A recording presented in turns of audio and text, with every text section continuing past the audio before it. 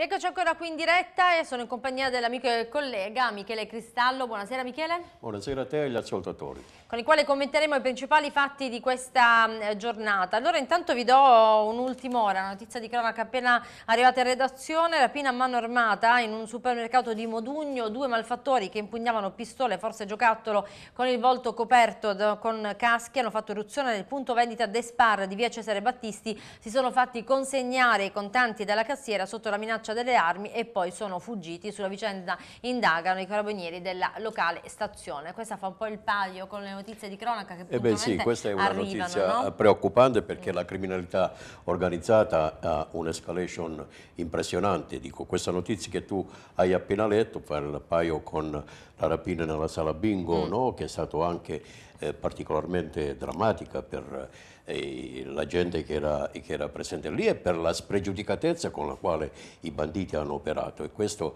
la dice lunga sul, eh, su, sulla criminalità organizzata che diventa sempre più aggressiva e gli episodi si moltiplicano purtroppo.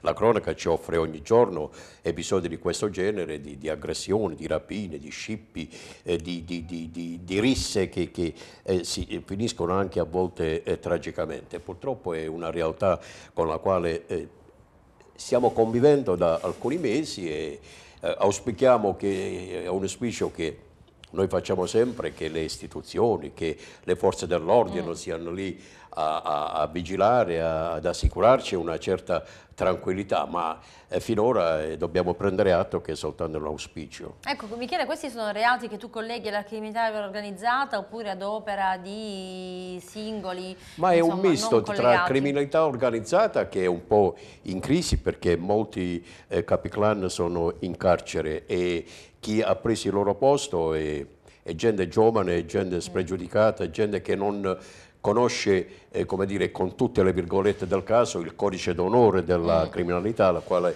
eravamo abituati con i vecchi e i capilcarne. E poi c'è la crisi che, che, che, che, ci ha messo anche di suo, ci sono i piccoli eh, reati, io non voglio parlare di eh, microcriminalità, parliamo di delinquenza, di delinquenti che si scatenano per eh, tirare come dire, la giornata a modo loro, ecco, mm. c'è il contrabbando di sigarette che ha ripreso eh, eh, che ha ripreso quota, c'è eh, lo, lo, spaccio di stupefacenti che non ha mai cessato e ci sono gli scippi, ci sono i furti nelle abitazioni, quindi tutto un complesso di situazioni che mina gravemente la serenità e la tranquillità della nostra vita quotidiana. Infatti.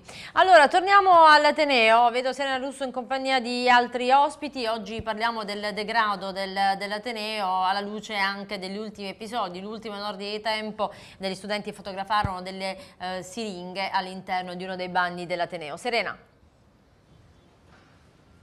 Sì Alessandra, eccoci di nuovo insieme, sono tra l'altro due ragazzi, due militanti dell'associazione Link di Bari, tu hai fatto bene a ricordare quello che è successo, l'ultimo accadimento in ordine cronologico, quindi ritrovamento di sangue e siringhe all'interno dei bagni, ma quello è un caso limite, invece noi oggi vogliamo raccontarvi quello che questi ragazzi vivono quotidianamente all'interno dell'Ateneo e non solo. Allora abbiamo preso le mosse da questo flash mob che vuole in alcun certo senso denunciare lo stato di degrado delle aule, quindi quello che chiedo a Nicola è qual è lo stato di degrado delle aule, ce la vuoi descrivere? Sì, allora ehm, c'è da sottolineare innanzitutto la presenza di polvere, eh, che in alcuni casi eh, causa addirittura allergia alla polvere, ehm, quindi casi proprio di sanità mancata. E, ehm, poi sedie rotte, banchi non sempre perfettamente funzionali che rendono difficile appunto stare fisicamente all'interno di un'aula e la rendono molto ostile a noi studenti quando quello è un luogo importante di formazione, quindi un luogo in cui noi dovremmo riuscire a vivere bene in modo, in modo sereno.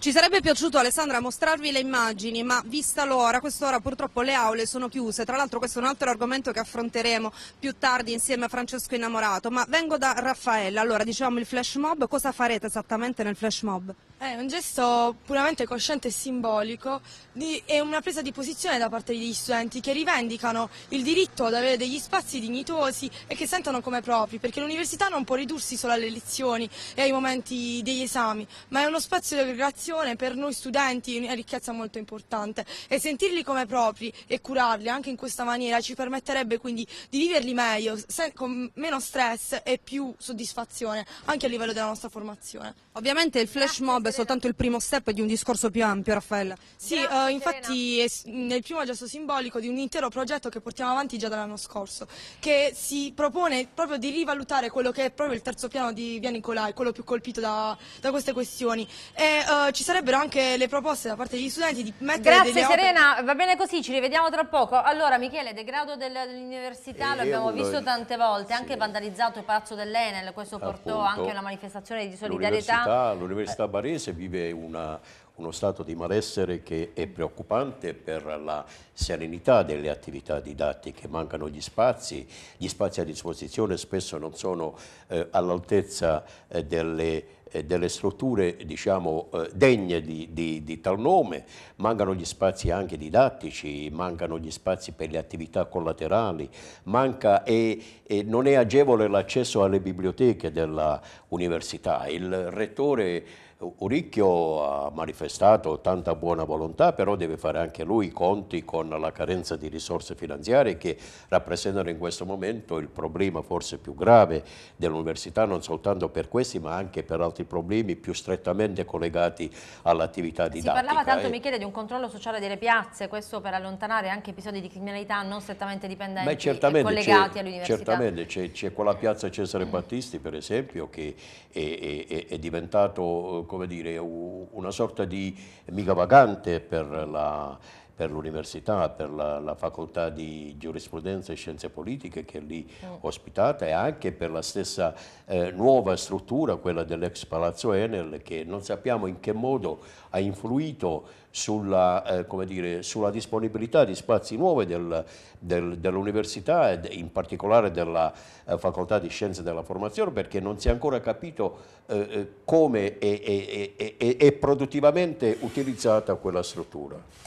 Allora, cambiamo argomento, l'avete visto già, è la notizia nei nostri titoli di apertura, è la notizia un po' del giorno, Binetti ha rassegnato le sue dimissioni nelle mani del sindaco dopo aver ricevuto un avviso eh, di eh, garanzia. L'Antab ancora una volta finisce nel eh, risale le onori delle cronache giudiziarie ehm, anche per diversi filoni che eh, vengono certo, da molto lontano. Ma ormai tra quello che accade a livello nazionale e quello che accade a livello locale Dobbiamo dire che da cronisti siamo un po' stanchi forse di registrare eh, di questi mm. episodi mm. di, di, malcostume. Certo c'è la presunzione di innocenza come in tutti i casi, però c'è da, da, da, da, stare con, eh, dire, con le, le, orecchie e le antenne eh, tese per eh, cercare di approfondire e analizzare questi fenomeni, che sono fenomeni che mettono in crisi non soltanto le istituzioni, ma ancora una volta allontanano l'opinione pubblica dalla politica e questo certamente è un danno anche per la democrazia, oltre che per l'economia. Eh, ti chiedo quanto queste inchieste giudiziarie pesino sulla percezione di efficienza del servizio tra i cittadini. c'è da vedere scusate, come vanno a finire poi queste inchieste e se i, i colpevoli vengono accertati, se ci sono, e se vengono sanzionati in maniera adeguata. Mm. Allora, cambiamo argomento e parliamo di uh, politica, come sempre abbiamo fatto con il nostro Michele Cristallo. Intanto nel, nel centrodestra abbiamo parlato di rottura, una rottura che comunque continua a demarcare la sua linea di confine tra i uh, lealisti berlusconiani guidati in Puglia da Vitali e l'europarlamentare di Maglie Fitto e i suoi ricostruttori. Ci si mette però Schittulli, che è sempre tentato una mediazione tra queste due anime uh, dei forzi razzisti, soprattutto in Puglia. è venuta a determinarsi una situazione singolare. C'è eh, la, la, la dichiarazione ufficiale è quella di un Forza Italia unita e di una coalizione di centrodestra mm. che viaggia unita verso l'elezione di eh, Francesco Schittulli. Però all'interno di Forza Italia ci sono ancora divisioni tra eh, i seguaci di Fitto e, e, e, Vitali.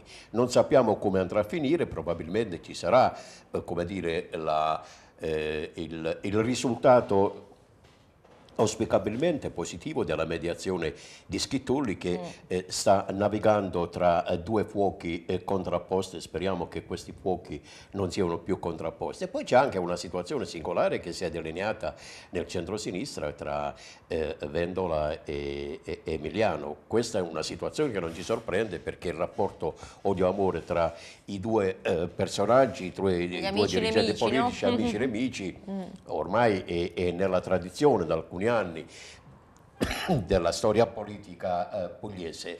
È il teatrino della politica che ci presenta delle scene e delle sceneggiate, io direi a volte eh, sempre nuove, vedremo quale sarà il prossimo atto. La sanità comunque resta sempre il cavallo di battaglia delle eh, competizioni elettorali. Il cavallo di battaglia delle competizioni elettorali perché eh, il centrodestra Schittulli ha dichiarato che lui giocherà tutte le sue carte e la sua fortuna di governatore proprio sulla sanità.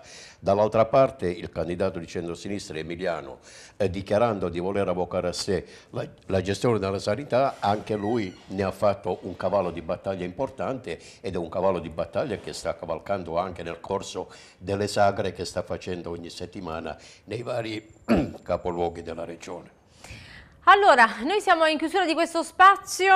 Mm, Michele, come andrà a finire questa campagna elettorale? Lasciamoci andare ad un pronostico che insomma ha il peso che ha, visto che viene fatto comunque. Una campagna elettorale che, che, appassionerà eh, certamente mm. l'opinione pubblica, appassionerà anche i giornalisti, i quali sono già in, impegnati in una sorta di pronostico, un pronostico difficile perché il sondaggio ultimo che abbiamo letto sui giornali dà il candidato di centrosinistra è 10 punti avanti sì. rispetto a quello di centrodestra, però il centrodestra Schitulli eh, sostiene di aver eh, guadagnato di, di, di, e quindi il distacco è poco sensibile, almeno così parrebbe e vedremo che cosa accadrà e tutto dipende dal rapporto che sapranno eh, dire, instaurare i candidati con l'opinione pubblica e dal livello di fiducia che saranno eh, dire, eh, capaci di conquistare e di portarli a, soprattutto alle urne perché ancora il mostro da, da temere è quello dell'astensionismo. Eh, bisognerà capire anche perché in questo sondaggio eh, realizzato dal PD nazionale si parlava di un 25% di eh, indecisi, una flotta probabilmente destinata a crescere man mano che ci si avvicina certo, alla competizione. È un partito, è un partito ancora, ancora, forte e se le coalizioni politiche continueranno ad agire come oggi, cioè tra eh, tensioni e divisioni, fronti contrapposti, è un esercito che è destinato ad ingrossarsi. Ad allora, stop, siamo in chiusura di questo spazio spazio, non mi resta che ringraziare Michele Cristallo per essere stato con noi, grazie Michele. Grazie a voi per l'ospitalità, buonasera. Ci fermiamo, pausa pubblicitaria e poi torniamo con tante altre notizie tra poco.